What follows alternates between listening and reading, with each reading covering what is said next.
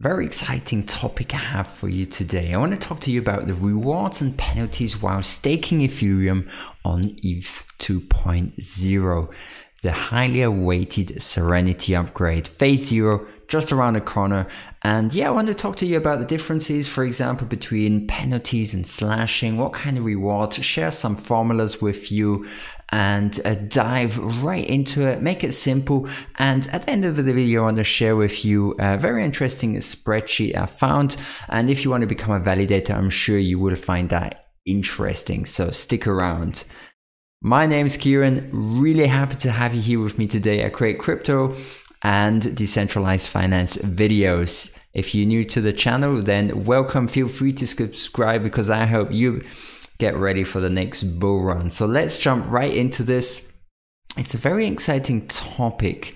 And as you might be aware, if you've been in the cryptocurrency space for a few years, um, Ethereum 1.0 has had a lot of scalability issues. The cryptocurrency, the ICO phase had uh, many uh, clockages, transactions held back, and so on. Um, the CryptoKitty phase also clogged up the network and many other instances. I think two weeks back we had the Black Swan event with MakerDAO. Also a lot of um, yeah, scalability issues on the network. And I think that is one of the main reasons why we're moving to proof of stake, moving to sharding and doing this whole Serenity upgrade on Ethereum, moving Ethereum to Ethereum to um, uh, 1.0 to 2.0 so that we can resolve these massive scalability issues. And yeah, I mean, the ability to process thousands of transactions per second rather than the current, and at the moment it's at 15 TPS and has long been awaited. And I want to share with you a quote, and I think this just shows the massive potential of the phase two of um, Serenity upgrade. And this is a quote from Vitalik Buterin. Current Ethereum chain can do 36 transactions a second. But if you do a rollup, optimistic rollup or a zero knowledge rollup, it goes up to 2.5 uh, 2500 transaction per second. Now, if you do sharding, only sharding, then it goes up to 2000, um, between 2000 and 10,000. And if you do the roll up on top of sharding, then it goes up to 100,000 and possibly even 1 million uh, transactions per second, which I think is just mind blowing the speed. So I'm looking forward to that because that would mean many issues that we've had in the past won't happen again. So, now, the thing is, uh, as a validator on the Ethereum 2.0, and as soon as phase zero um, starts, which is basically the heart of the whole operation, and you, you can become a validator by locking up 32 Ethereum. So you need at least, that's the minimum and the maximum that you can use to effectively transact with the beacon chain and that's capped at 32 Ethereum. But you can add much more um, to that validator, but the 32 Ethereum is what is interacting with the beacon chain. Now, on the other hand, if your validator is affected by penalties, then this uh, these 32 Ethereum that you locked up will get cut. A little parts will get taken away until you've got less than 16 and as soon as you got less than 16 ETH on your validator then you get forcefully exited which is not so great. Now, I think what is very important when we look at penalties, there's a difference between uh, receiving a penalty as a validator and slashing. Well, slashing is much worse. Now, for the slashing, a validator that is caught incurring a slashable attestation is forcibly uh, withdrawn from the beacon chain with its balance penalized in each epoch during the period it is on the leaving queue. So the slashing um, penalties are a lot higher than just normal penalties for inactivity.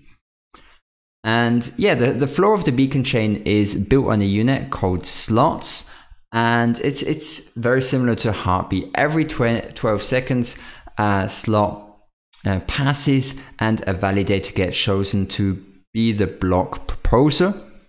And the attester committee of validators vote for this block to be part of the canonical chain. And the um, here you've got a very good graph that just shows the latest justified epoch, the latest epoch boundary, and the head. And here, this is very interesting. If the system has not achieved finality in a number of epochs, so at the moment it's set at four, then all the validators that are inactive during that time are hit with the inactivity penalty. So yeah, this is this is bad for if you're if you're inactive, then you lose a little bit of your uh, funds. So if you're a validator, make sure you remain active. And however, slashing is a lot worse, and there are three ways that you can um, be slashed, and you like if you get slashed then uh, that means that the validator is forced to exit the beacon chain at a point in the future. At the moment it's set at 36 days in the future. And the main three reasons to uh, be slashed is by being a proposer and assigning two different beacon blocks for the same slot. That's one slashable um, uh, event. By being an attester and sign an attestation that surrounds another one and the third reason is by being an attester and sign two different attestations having the same target. So these are the three reasons that that can lead to a slashable um, penalty. Now, in all these cases, the offender needs to be caught in order for the slashing process to be triggered. So if one node realizes that another node is causing a slashable event, well, this uh, first node can become a whistleblower and he can like tell the network that this other node is uh, doing a slashable event. And after phase zero, the whistleblower will get a little bit of this reward, the slashing reward. However, for phase zero, the proposer gets the whole reward and the whistleblower gets nothing. But after phase zero, this will change and the whistleblower will also get something. And um, here we've got the formula for the whistleblowing rewards.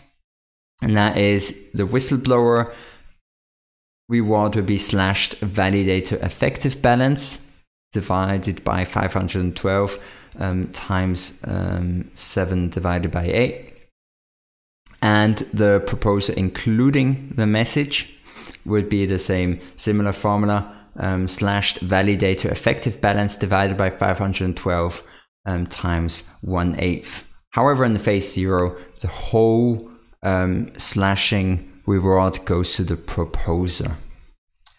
And for, so I, I, just, I mentioned before about the like the slashable uh, the slashed validator that has to exit. Well basically he has to exit um, in a future epoch and that is 36 days in the future. Or if we look at it in epochs um, basically 8192 epochs. And uh, one epoch is around uh, 30,000 blocks not mistaken. So furthermore if we look at the slashed validator, uh, a minimum penalty at the moment, the proposer includes the whistleblowing message in a block.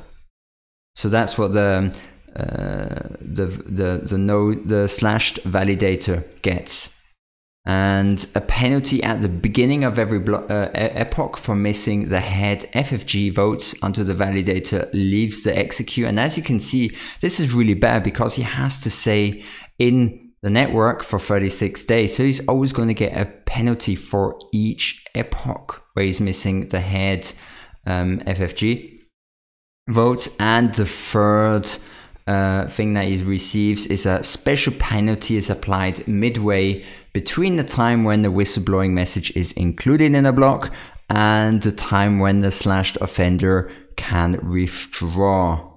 So here we've got some other formulas with the slashing penalties. So the at the slashing processing, it's slashing slashed validator effective balance divided by 32, and during the epoch, it's three times the base reward. Um, and for the special penalty, it's effective balance times the minimum um, three times the sum of recently slashed balances, um, total balance divided by total balance. And we, we looked at the base reward. The base reward is calculated by multiplying the effective balance times the base reward divided by base rewards per epoch, which is a constant, times um, root of sum of active balances. The constant for the base rewards per epoch is um, 4. So here we've got different constants. These constants you, you can look up. And yeah, so epoch processing. Now, at the beginning of an epoch, so every 32 slots, apart from the first epoch, several things happen. And this is very important to know what is happening so that you do not occur, incur a slashable event. And the first thing that happens is justification and finalization, finalization of the chain. The second thing that happens is assignment of rewards and penalties to attesters. Um, third is update of the validator registry, the special slashing penalty, and um, the fifth step is some final updates, computing effective balances, resets, and so on. So what is very important is if a validator has not been active in the previous epoch but did not vote, um, sorry, I uh, say that again. If a validator has been active in the previous but did not vote, it will um, get penalized for not matching the FFG um, votes. And FFG is friendly finality gadget. Um, here we've got some more uh, formulas and I'll link all this down below so that you can look at it in peace. It's very useful for calculating um, your rewards, your penalties, and so on, because it's very important that you um, play by the rules when becoming a validator, because it's just not fun. Uh, to be penalized, to be slashed, and so on. But you probably have to really try and do something maliciously um, to be to, to be slashed. So with the rewards and penalties, um, for matching the source vote, the reward is base reward. We looked at the formula below uh, before, and that is a base reward times attesting balance divided by total active balance, and the penalty is the base reward. And the same goes for the other ones, which I'll just leave down below because it's just going to be way too boring to listen to me uh, read them all. I'm sure you can now read those on your own and um, make sense of those because we already looked at the penalty. Maybe we'll look at the uh, inactivity penalty. Uh, the inactivity penalty system failed to finalize for four epochs, and that is the penalty is four time base reward. So that's um, you can calculate then what, what happens if your um, validator is offline for a longer period of time. Very important to realize that if you want to have your host your validator at home, for example, and you want to go offline for a while, not that it's suggested. Um, here are some more uh, constants, very uh, very good for any um, formula calculations and so on. And um, this is the very interesting, uh, more or less uh, live um, example with uh, a certain amount of ETH staked on Ethereum 2.0. This is like um, an example uh, with 500,000 ETH staked and 95% of the validators being online. And if 95% uh, of the validators and each validator has 32 Ethereum, then you'd have 14,843 validators online, 781 offline, and the base reward being 22,897. So you can calculate how much um, the offline validators are going to be penalized and how high the reward is for the online uh, validators during that past epoch and we can you can just um, plug in the values um, based on here above to create the FFG rewards for voting the FFG penalties in case you do not vote, the free time space reward. And on the right, you've got all the values in Gwei and you can use uh, a, a Gwei to ETH, a Gwei to USD uh, converter to figure out how much um, the value is of this Gwei in US dollar at the current Ethereum price.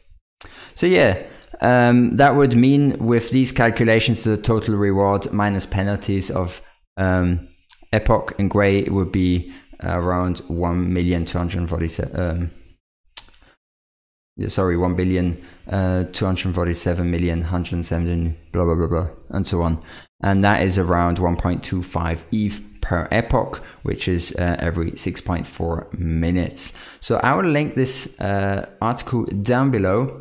Uh, I want to say a big thank you um, to the Herman Junge uh, who wrote the article and many of the people that helped him write the article because um, they're doing a fantastic job of explaining how these things work and I try and make it a little bit easier for you guys to understand. So you can uh, check the article out in the link below and yeah, really excited uh, for phase zero for staking and uh, the last thing I want to share with you because I think this is super exciting is the ETH uh, 2.0 uh, staking rewards Google Sheets uh, document, which I've got here. And this is actually really good. Uh, you can use this to uh, figure out how much uh, your rewards are, and you can also calculate your staking cost based on what, for example, using Amazon EC2 and all the different um, parameters. So all this can be added to this uh, Google Sheets document